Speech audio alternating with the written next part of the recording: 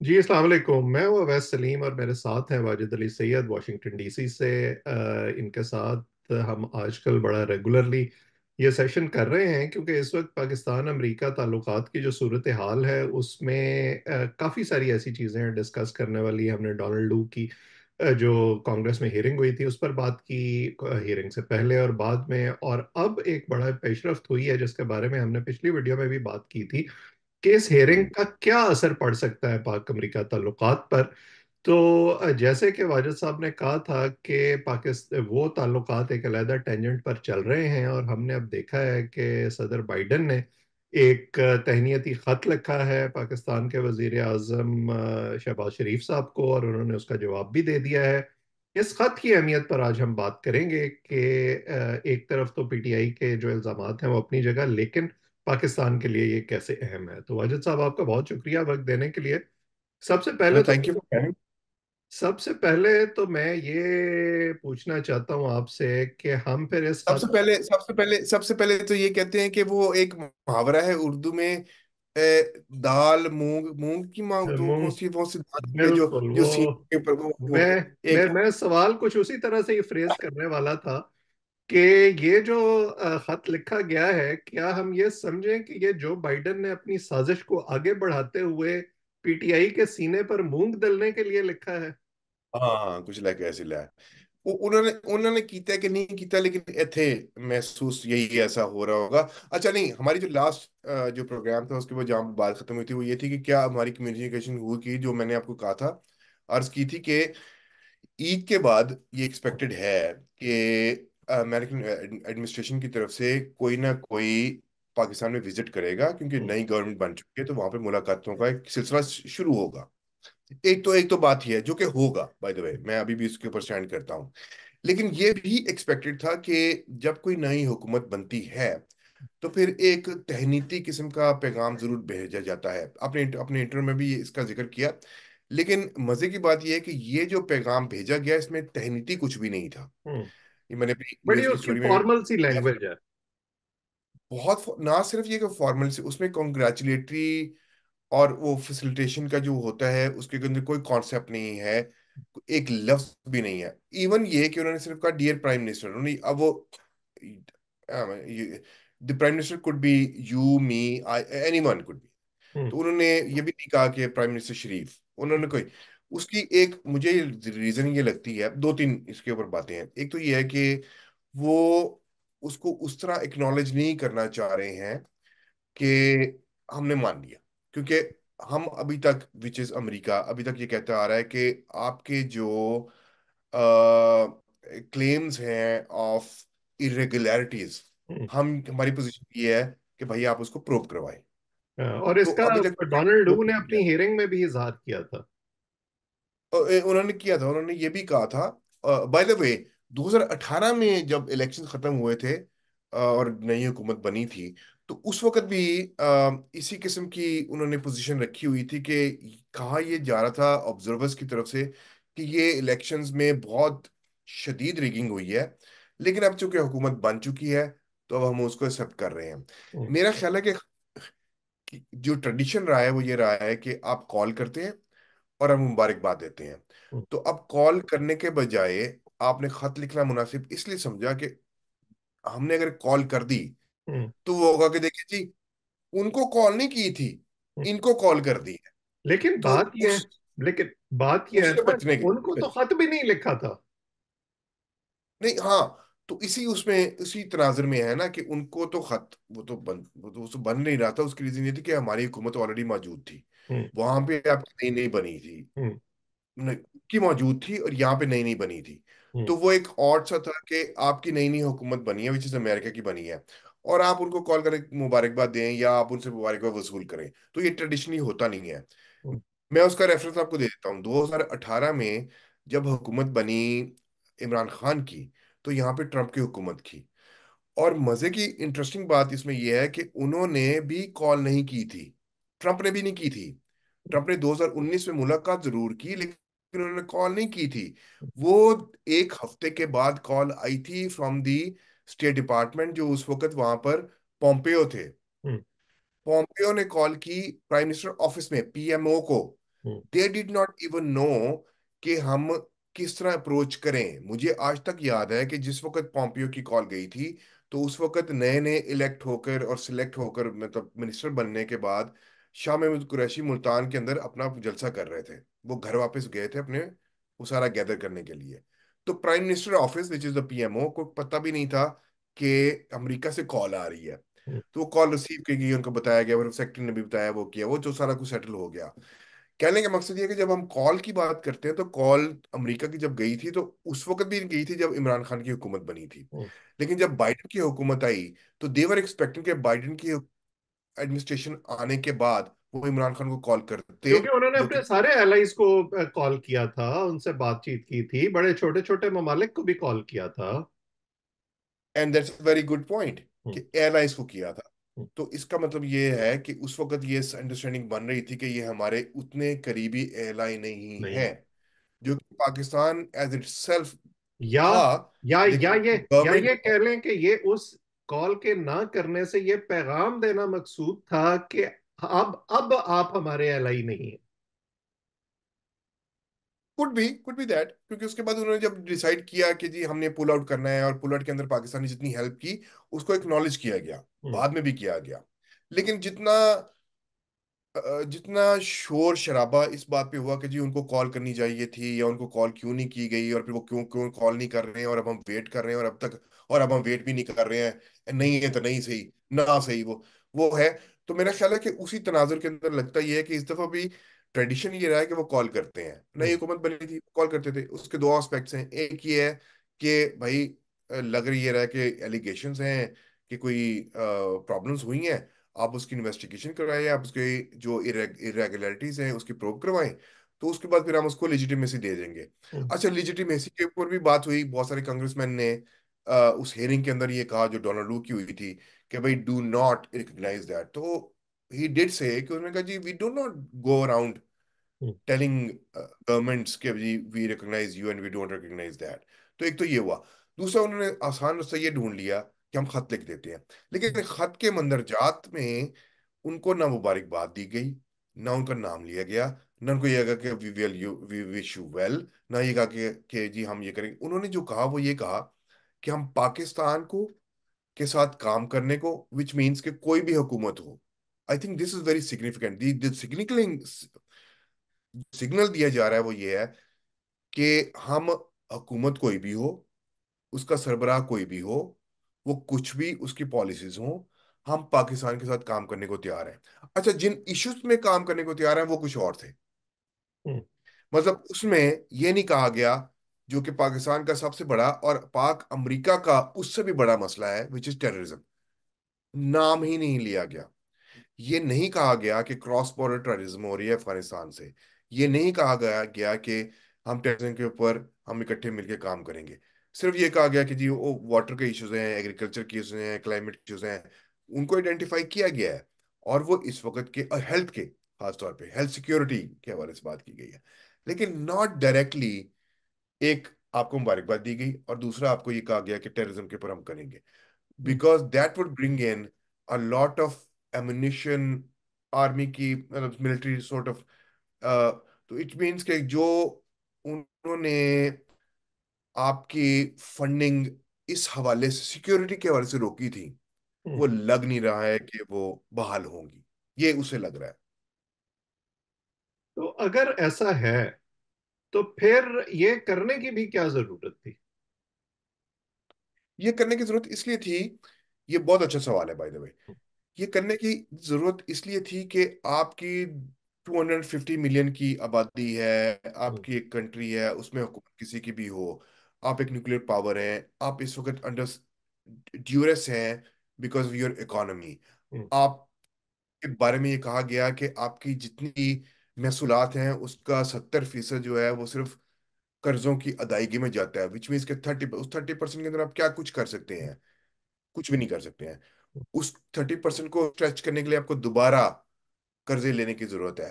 तो उसको सस्टेन रखने के लिए ये डिसइंटीग्रेट ना हो इसके अंदर केओस ना हो इसके अंदर जो राइट मुझे नहीं पता कि मैं राइट विंग कहूँ बट लेके जो कंजर्वेटिव किस्म की जो वो हैं कि जिनका ये ख्याल है कि भाई हमने जिहाद करने उसको टैप करने के लिए उसको अंडर रखने के लिए उसको टीटीपी जैसे एलिमेंट्स को को को, को फाइट करने के लिए राइज अब हमें नज़र आ रहा है।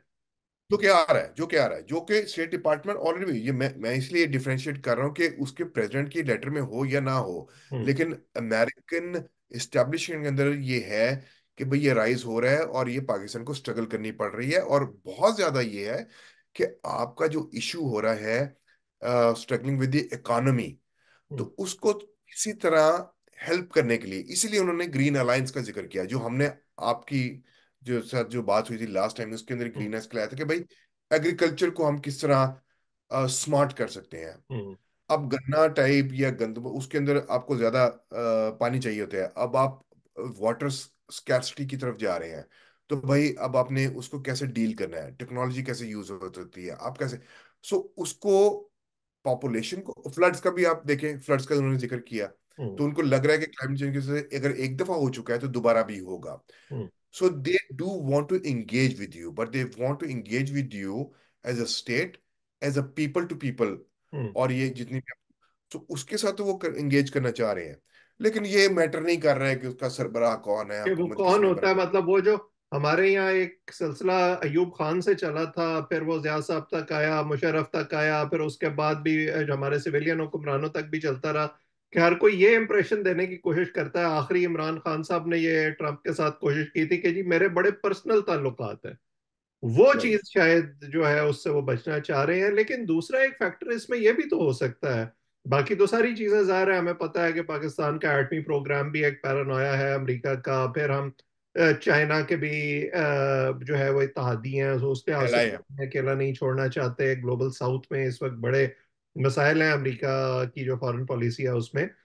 बस America to keep as well कि वहाँ पे क्या चल रहा ही। दूसरा जो अगर मैं जोड़ूं इसको ये जो साइफर वाली साजिश है उससे कॉल ना करना इमरान खान को उनसे बात ना करना played right into their narrative के जी देखे उन्होंने हमें कॉल भी नहीं किया था वो हमारे खिलाफ हैं इसलिए उन्होंने साइफर लिखा।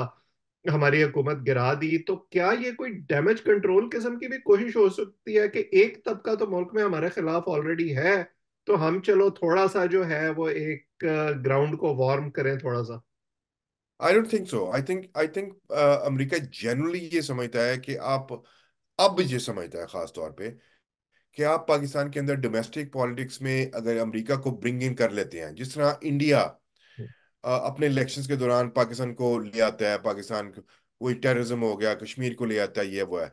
तो वो मेरा ख्याल है कि अमेरिका अब इस उस वक्त उस उस पोजीशन पे आ चुके हैं जहाँ पे दे थिंक कि यार आप अपनी डोमेस्टिक पॉलिटिक्स के लिए हमको यूज़ करते हैं तो करते रहेंगे। हम अब हमें अब उससे फ़र्क नहीं पड़ता। हमें फ़र्क ये पड़ता है कि इस वक्त हम आपकी जो हेल्प कर रहे हैं जो कि चाइना नहीं कर रहा। अब चाइना जो कर रहा है वो ये है कि जी वो आपको पैसे उस तरह नहीं दे रहा है वो आपको कर्जा दे रहा है और उसके अंदर अपने लोगों को लेके आता है और अपने प्रोजेक्ट्स बनाता है उसके अंदर अपना शेयर रखता है। अमेरिका का इस वक्त जो स्टैंड है जो कि बहुत क्लैरिफाइड था है वो ये है कि जी अब आपके जो डैम्स हैं उनकी रिपरेशन और रिहेबिलिटेशन के लिए हम आपकी सपोर्ट कर रहे हैं। तो वो हम्म। अभी भी उसी किस्म के मतलब लम्स आपका वहाँ पे इंस्टीट्यूशनल इदारे बनाए हैं हेल्प किया है या आपका आईबीए कराची के अंदर उसके लिए वो किया है। तो हम्म। उस प्रोग्रेशन के लिए वो उस किस्म की अभी भी वो स्टैंस रखा हुआ है लेकिन मेरा नहीं ख्याल कि जो आप वो कह रहे हैं कि जी वो वो डोमेस्टिक पॉलिटिक्स में नहीं है। अब उनको पता लगे अब आपने अब हमको गाली देनी है तो दे दें बस ठीक है। हम्म। अब वो इस पे आ गए आपने गाली देनी है तो आप गाली दें कोई मसला नहीं है। यानी वो हमने जो फॉरेन पॉलिसी को और डोमेस्टिक पॉलिसी को एक तरह से डिस्टिंग्विश कर रहे हैं। चले हमने बाइडन के खत को तो डिस्कस कर लिया। अब जरा थोड़ा सा जो शहबाज शरीफ साहब ने जवाब दिया उसको भी डिस्कस करें। उसकी भी टोन खासी कोल्ड सी है उसमें भी कोई इतनी ज़्यादा गर्मजोशी का इजहार नहीं किया गया। कंपैरेटिवली मेरा ख्याल किया गया। Comparatively comparative in compare to जो चले ये कर लेते उसमें उसमें उसमें था उसमें ये था कि बड़ी मेहरबानी खैर वे भाग लगे रहे। मतलब वो ये काम था कि चले ठीक है हमें को हमें कोई जवाब तो आए ना। अब आप आप इन्फर कर रहे हैं वैसे। मैं इन्फर कर रहा हूँ यस उसमें उसमें उसमें ये उसमें ये किया गया कि जी हमने आपकी जो हुकूमत बनी उसकी कबूलियत का एक इशारा था। हम्म, हालाँकि कंग्रेचुलेटेड कोई मुबारकबाद नहीं दी क्योंकि हालाँकि मुझे हैरत हुई कि हमारे यहाँ बहुत सारे अंग्रेज़ी बसमेत उर्दू अखबारों ने उस पर यह डाला कि जी उन्होंने कोई मुबारकबाद बिल्कुल ऐसा नहीं किया। हम्म, क्योंकि उनका पोजीशन ये है कि भाई आप वो करें लेकिन ये पोजीशन 2018 की भी यही थी कि भाई इसके अंदर तो पता लग रहा है कि आ, आ, बहुत ज़्यादा धांधली हुई है लेकिन अब चूँकि हुकूमत बन चुकी है तो हमने इसके साथ काम करना है। Which again brings back to the point कि आपने रियासत के साथ काम करना है। तो इन्होंने जो भेजा है वो इन्होंने बहुत छलांगे मारने वाला भेजा है कि थैंक यू थैंक यू आपने हमको मान लिया हम आपके साथ काम करने को तैयार हैं। पर किन मुद्दों पर काम करने को तैयार हैं? और हमारे इश्यूज़ हैं क्या? देखें और लास्ट टाइम भी हमारी आपकी बात हुई थी कि हम, हमको एनर्जी क्राइसिस का मसला है।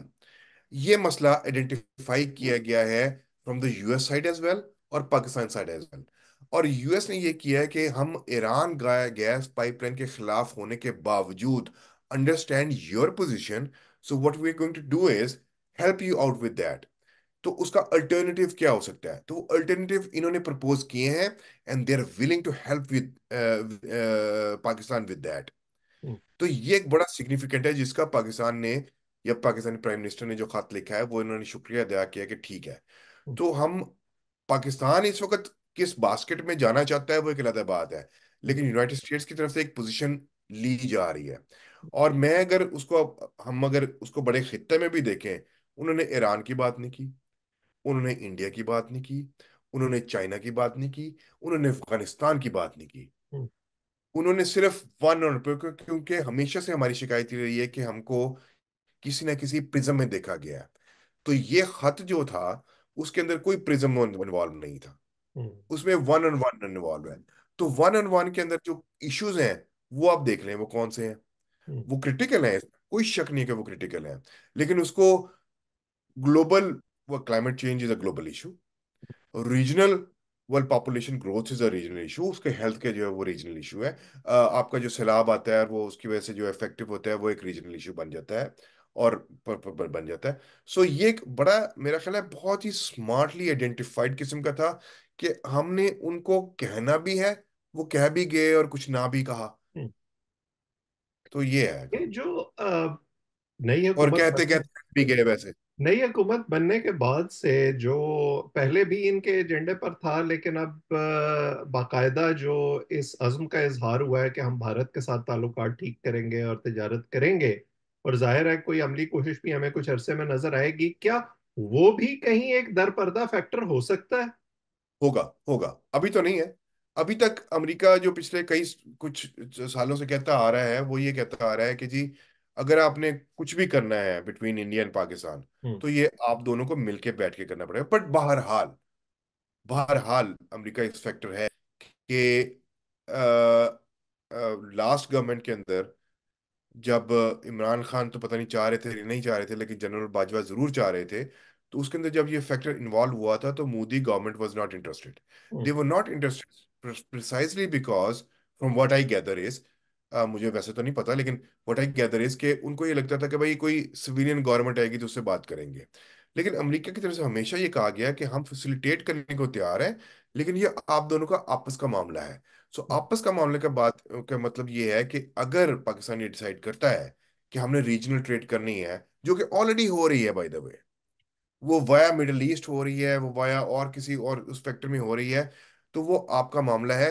वो उसको फैसिलिटेट करने का मतलब ये है कि वो उसको ओके कर देंगे। वो उसको डिनाई वो उसको रिजेक्ट नहीं करेंगे जिस तरह वो ईरान के साथ किसी भी मुल्क की ट्रेड को रिजेक्ट करते हैं। हम्म। तो इंडिया के साथ इस किस्म की अगर कोई एक्टिविटी होती है तो they would sort of give a nod they won't reject that they won't right away come out and say कि नहीं ये नहीं होगा जिस तरह वो ईरान के बारे में कह रहे हैं। हम्म लेकिन इंडिया के साथ वो कर सकते हैं। तो वो पाकिस्तान का है और पाकिस्तान के बाद वो ये कहते हैं कि भाई, इंडिया अगर चाहेगा उसको एक्सेप्ट करना तो वो ठीक है। तो वो देखते हैं कि वहाँ पे जो इलेक्शंस हो रहे हैं, वो कर रहे हैं। लेकिन इसमें दो फैक्टर्स ये है ना कि चूँकि अफ़गानिस्तान एक लैंड लॉक्ड कंट्री है और इंडिया से जो भी वहाँ पे मटेरियल जाता है, वो वाया पाकिस्तान होके जाता है। लेकिन पाकिस्तान और इंडिया की ट्रेड जो है, वो वाया मिडल ईस्ट होके आती है। ट्रेड तो हो रही है। ये नहीं हम हम कह सकते हैं कि ट्रेड नहीं हो रही है। ट्रेड तो बिल्कुल हो रही है। लेकिन डायरेक्टली नहीं हो रही है। क्रॉस क्रॉस बॉर्डर नहीं हो रही है। तो उसको I think United States would support that और लेकिन वो ये कहेगा कि आप आपस में अपनी डीलिंग करें जो आपने करनी है। हम्म। लेकिन यहाँ से सपोर्ट आने का मतलब ये है कि it's it's a big deal I I think it would they would encourage that बिल्कुल सही। तो अब फाइनली जरा जिसमें हमने पिछली दफ़ा भी बात की थी और आज शुरू में भी बात हुई इस वीडियो के शुरू में भी कि अब फिर हम एक्सपेक्ट करें कि कोई फॉलो अप विज़िट जो है अब ईद के बाद होगा दोनों तरफ़ से। एब्सोल्युटली तो देखिए लास्ट टाइम हमारी जो बात हुई थी वो इस बात पे खत्म हुई थी कि भाई कुछ होगा तो मेरा ये था कि वो होगा हम्म। लेकिन मुझे लग रहा है क्योंकि रमज़ान चल रहा है फिर ईद है फिर नई नई गवर्नमेंट बनी है तो भी वो है। तो वो होगा स्टेट डिपार्टमेंट के लेवल हो गया हाई लेवल पे होगा वो ज़रूर होगा। लेकिन ये मैं मेंशन करना भूल गया क्योंकि ये ट्रेडिशन बनता आ रहा था कि कोई ना कोई कंग्रेचुलेटरी मैसेजिंग ज़रूर जाती है।